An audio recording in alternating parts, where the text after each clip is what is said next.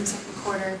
How did that affect you guys in the second half of the game? And um, Donovan, especially for you, how did you sort of then have to take over point guard? Um, you know, it's it's tough to see you know him go down like that on a freak accident. You know, uh, sorry, on a freak accident like that. Like that's that's tough, man. And you know, I don't know the full extent. You know, I don't have any news for y'all. But you know, as far as he goes, he's a fighter. He's a competitor. He's gonna be back strong. But you know, the one thing about this group, man, like we we fought and competed. You know, when a man goes down, next guy's stepping up. You know, that's that's the road to being a good team, a really good team. And you know, obviously we we we did we didn't do a bunch of things that we can control. Turnovers.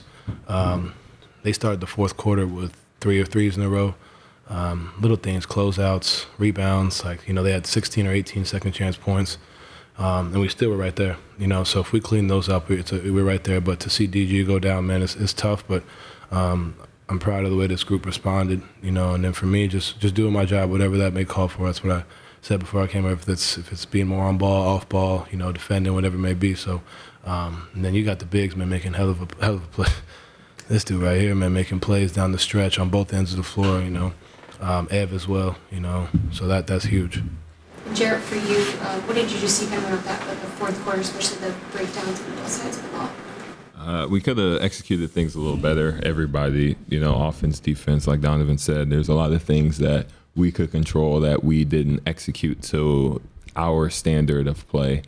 Uh, but still, there was a lot of good things that we did down the stretch in terms of just figuring out how to play in the end game, where to be, the right spots, communicating as a team. So it didn't end as we wanted to, but we saw a lot of positives.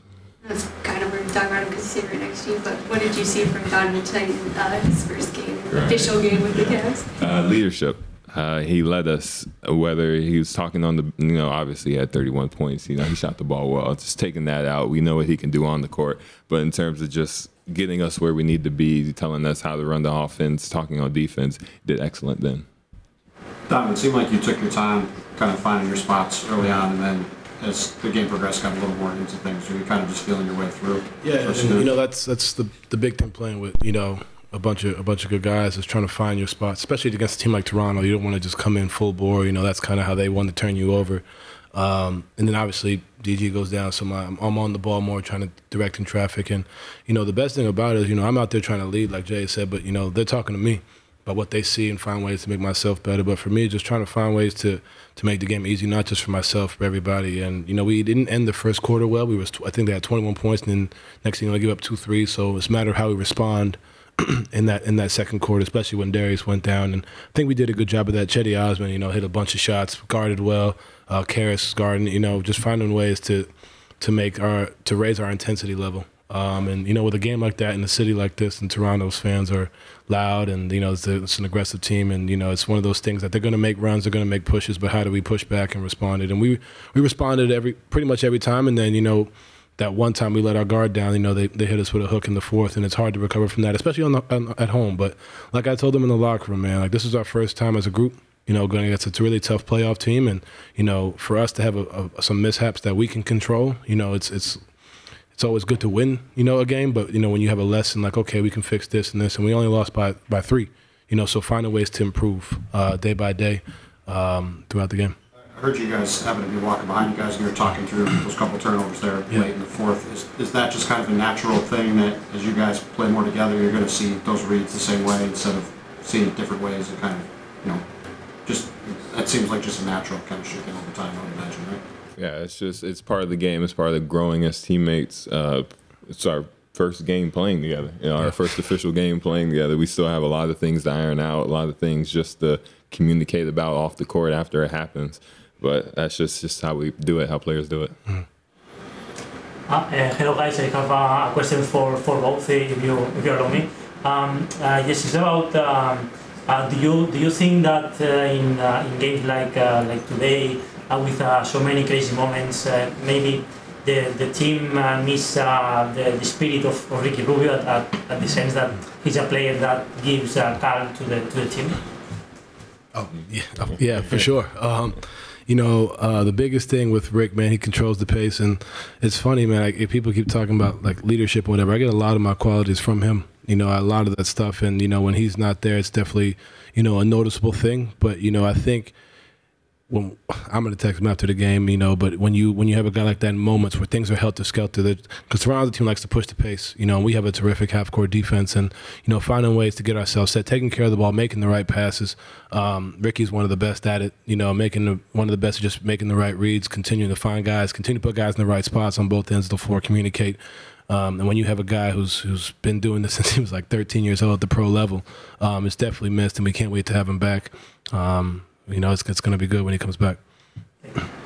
And, and your, your opinion, uh, Yeah, I, everything he said, I completely agree with Ricky. Uh, he said it about his ability on the court to be able to slow teams down, slow us down, get us in the right position, and even having him on the bench, having him talking to us, directing us, uh, telling us how to run the offense, just little things here and there. It helps a lot more than a lot of people think. And you know, it's can't have him around for a little while, but once he's back, I think he's going to contribute a lot. Thank you. Anyone else? One last question. Uh, Wins Ortiz, Yahoo Sports Canada. Uh, school players in the past talked about how difficult it is to play against Toronto for a multitude of reasons. You know, you guys started off your season tonight against them. I'm sure you're happy you played them. What makes it so difficult really playing against Toronto? You want to go? Yeah, uh, they're a physical team. Uh, we they every time you go in the paint, you know you're going to get hit. Every time you know things aren't going to be easy. You have to go in with the mindset that it's going to be a rough game. It's going to be a lot of hands in the lane, hands everywhere, and you just got to be ready for it. Uh, Obviously, with their size and speed and athleticism, they can be a pretty frenetic team to try to play against, as you were talking about earlier. What, what are the challenges going up against them with the, the length they have in terms of making pick and roll reads and that kind of stuff? the randomness of their defense. Um, they're very good at that. You know, Nick Nurse is very good at that. He's always been like that. Even I heard even since the, the G League days. Um, you know, like for instance, I had a turnover where um, I beat OG down the baseline, and Fred VanVleet just leaves his man and comes comes behind me and, and gets a steal. Like you know, that's not the typical defensive principle, but that's how they do it. And they have the size, they have the length, they switch, they they're in drop, they're in blitz, they're in box and one. Like you never know what's coming. And you know, for us, this you, you said it for us to this to be our first game is a really good test. You know, and you know I'm really pleased. I think we're all pleased with how you know things went. You know, we obviously are pissed off that we, we couldn't execute and down the stretch, but you know, it's it's it's a game. You know, it's it's part of the learning process. But you know, with a team like this, you know, you give them credit. That's what they're known for. That's how you know that's why they're a playoff team. And you know, you just got to be able to play through that and understand that going in. And I think we did a good job, and we can do an even better job as a group. So, um, hats off to them. Thanks, Don. Appreciate it. Thank you, everybody.